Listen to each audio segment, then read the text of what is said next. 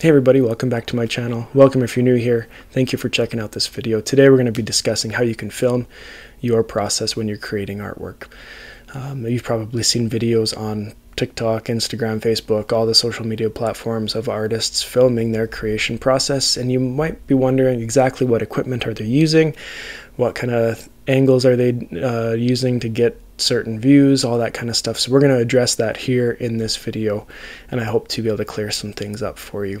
Obviously, what I'm going to be telling you here isn't letter of the law. It's not the only way to do things. These are just some ways that I do things, and I hope that it can help you out. So first, let's talk a bit about equipment, what you need. First, you're going to need a camera. I'm just going to look at my list here so I don't lead you astray. You're going to need, if you're doing a, like a tutorial or anything like that, you're going to need a type of microphone. You'll need some lighting. You'll need a tripod. I use a boom arm for my camera in some shots and a boom arm for my microphone. And you're going to need um, a phone holder if you use your phone to uh, to do the filming. So let's take a first look here at the camera. Um, cameras, this is becoming something that is much easier for everybody to use because cameras on cell phones are becoming so much better. So me personally, I started filming my YouTube videos with a Samsung Galaxy S6. I used that for quite a few years up until 2020 uh, when I upgraded to an S9. Still not brand new. The S9 was a, couple years old at that point. And just a couple months ago, I bought an iPhone 11. So this is what I'm using to film this video at this time. Um, I've never really used a DSLR, a mirrorless camera, a standalone camera for any of my filming, um, but those are good options as well. The reasons that um, I don't have one of those is because um, they're expensive. a base price for a good one starts around $500. Um, and for me, it would only have the one use. It would only be that, just filming videos. And for me, I like having equipment that costs a lot of money that I can use for multiple purposes. Uh, if you're using a DSLR or a mirrorless camera to take uh, high quality images of your larger artworks to then make prints out of, that's a super good use um, for that. Uh, I'm fortunate enough that my dad actually likes he's really into photography. He has a really nice camera, and I live close enough to him that whenever I need to take uh, photos of my artwork that I can't scan, I'm close enough I can just borrow his camera. So for me, I don't really have a strong need of a DSLR mirrorless camera, a high quality camera. Uh, uh, my phone works perfect for that. But depending on your experience, uh, what's available to you, maybe you're going to want to, to purchase one, and that's totally fine. Um, a lot of them have, have some great specs, and they can be used um, used very easily for for filming uh, these types of videos. Um, then you're going to need uh, a microphone. So when I first started out, I just used like I think it was a forty dollar lapel microphone that I got off of Amazon. Um, it it worked fine for for a little bit. Uh, now I use a Yeti X microphone. That's what I'm using in this video right now. The quality was quite a bit better. The price was you know four or five times the price. It was a little bit more expensive, but for the quality of sound that I'm getting, I find it to be much better. Um, you're going to need to look at considering um, for the audio what your setup is going to be like. Um, if you're going to be using a DSLR phone, can you plug your microphone right in? It might not microphone, camera. Are you going to plug your microphone right into your camera? What are you going to do with that? Um, for me, I just plug it into my computer and I have an audio recording going on on my computer uh, while I'm recording. And then I just line it up afterwards. Not the most ideal, but it, it still works pretty good. Uh, one of the important things I think is lighting. If you have a workspace that has a lot of natural light, you're very fortunate, and that um, that will work, be the best and work the best for you. I work in my basement, and so there isn't a lot of natural light down here, unfortunately, and so I use a few different kinds of lights to uh, try to get the best lighting available for me. I have a two of those, um, you know, panel lights. I'll put a picture here so you can see that plug into the light sockets. Um, so I, the two light sockets in the room that I work in, I have those in there that spread a lot of nice bright white light around the room for me. Then I have a set of uh, newer uh, LED panel lights that come with stands. Here's a picture of it as well that move around and they help give me a lot of good even lighting. That's what I'm using right now while I'm filming this.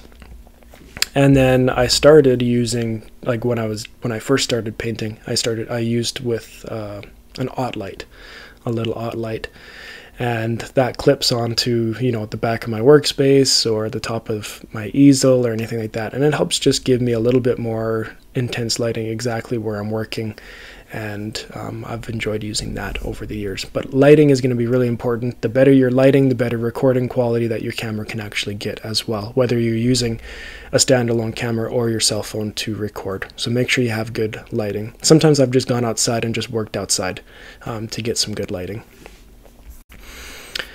All right, then uh, for certain views, you might need a tripod. Um, I just bought my tripod at a local electronics store. It's nothing special, but it does the trick for what I need. Some tripods will start as low as I saw one on for $26 on Amazon to hundreds of dollars on Amazon. So take a look at what you need. You probably don't need anything too fancy. Um, just something that can either hold your camera or hold your cell phone. If you're using a cell phone, you're going to need a little adapter to uh, hold that cell phone on the tripod. On the tripod, the one that I bought was eleven or twelve dollars off of Amazon, and it's been working awesome for me. Uh, for some shots, for some views, you're going to need a boom arm for your camera, and that will allow your camera to be held above the artwork that you're working on. Here's a picture of the one that I use. Um, for a long time I didn't use one quite this sturdy and I regret not just spending the extra 50 bucks or whatever this was and getting it because it has improved the quality of these types of videos immensely. And then you're going to need a boom arm for your microphone if you're if you're doing a video that requires a microphone. So for some tutorials, um, I'll be using a microphone or videos like this. I have my boom arm there attached to the side of my workspace so that I can have it there and put it wherever I need it to. So you can see here, I just have it attached here. And for me, I just have it just out of uh, view of the camera, but then it's still right there in front of my, in front of my mouth where it can pick up the sound um, just as good as it needs to. So that's a little list of the equipment. Let's kind of go over here. If you're wanting to have that nice tabletop workspace area view, um, that's where I use a boom arm, and for me, I'm fortunate, I guess, to have an unfinished basement, and so I have, you know, like the wooden um, beams in the ceiling, and I can just attach my boom arm to that, and then just have it extend down above my workspace, and the camera can be held there. If you don't have that, you could attach it to the side of your desk, to a shelf behind the desk, to a small table beside your desk as well. I try to stay away from attaching my camera to the desk that I'm working on because um, when I'm working, then I'll often be bumping the table um, while I'm painting or just the little vibrations of, of my paintbrush that will affect the camera stability. And that'll show up uh, whether you're doing a tutorial or a time lapse or anything like that it'll show up there in your video and it just doesn't make it as as good as it could be. Um, then I'll have my um, microphone boom arm attached to the desk that I'm working on because it doesn't matter if it moves around a little bit and it'll be just out of view of um, the shot where I can talk into it and then I'll have lighting just around me. I try to have one my OttLite behind attached to my desk and then I have two of the panel lights um, to the sides just to cast as much light as possible for me um, working in a darker basement because uh, the more lighting that I can have there um, the better quality of video it will be. And so here's a photo of my setup. I'll let you look at this for a second. You can see the boom arm from the ceiling, the lights around, um, the microphone there, and then my workspace below. And then here's a shot as well of the workspace from the camera being in uh, mounted in place. And you can see what, what the camera can actually see there. So this is good for smaller artworks, um, ones that can fit on a workspace. And uh, it can it's good for time lapses or tutorial videos or anything like that. Um, either work perfectly in this one. If you have any additions that you'd like to add to this or any questions, just let me know in the comments below. I'll be more than happy to listen or to give my input on that. All right, the second uh, view that we're going to be looking at is just the easel view. So a lot of times we like to, uh, to work on easels. Sometimes your artwork that you could be working on is way too big to work on a tabletop, and so you need to put it on an easel. But you still want to film your process. Um, so this is where I'll use a tripod instead of a boom arm. So my tripod tripod will be set back um, from me at an angle. I don't like to have it directly square onto the canvas because then when I'm working on it, I'm covering up a lot of the workspace. Um, and you're not able to, the, the, viewers of that video aren't able to see as much as um, if it was at an angle. So, me being right handed, I like to have that shot coming in from the left if possible um, because I'm not covering up as much with like my shoulders and arms. Sometimes it just doesn't work out that way and I shoot it from the right side and that's fine. Um, but that's just a little thing to think about while you're working on that. If it is a tutorial, I will have my microphone attached either to a small table beside me or to the top of my easel, and the microphone in this case is just going to be in the shot, and that's fine. Uh, it doesn't always have to be hidden, it, it, can be in there as well. For the lights, though, I will have the lights, uh, my panel, LED panel lights further back out of the camera shot, and I'll have them coming in at different angles to spread out um, the light as much as possible. And sometimes I will have the little aught light, the little clamp light on top of the easel uh, down onto the spot that I'm working on on the canvas, just showing a little bit more light. Sometimes that won't work the greatest when you're filming, as it can kind of white out uh, the spot that you're working on. So I try my best not to always um, have that have that on there.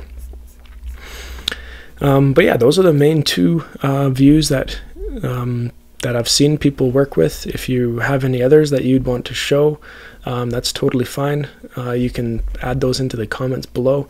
If you're wondering about any of these products that I do use, I will link them below um, in the description. I also have a written version of this video that you can check out on my website with everything linked in there of all the different products that I use. Um, I've just kind of gathered some things over the years to help me produce better videos. And um, one thing that I would definitely say is lighting is super important, and something to hold your camera in the, in the best place is also very important. Because with that, you can easily do time lapse videos and things like that, where you don't need a microphone and a boom arm for your microphone and all that kind of stuff. And then you can post those videos and hopefully help you make sales of your artwork. Um, so yeah, thank you for watching this video. I hope this has helped. If there's anything you'd like to add, again, please do it in the comments below so we can get some discussion going. Make sure you subscribe so you don't miss a video onto my channel, and we will see you next time on Brian Sloan Artist.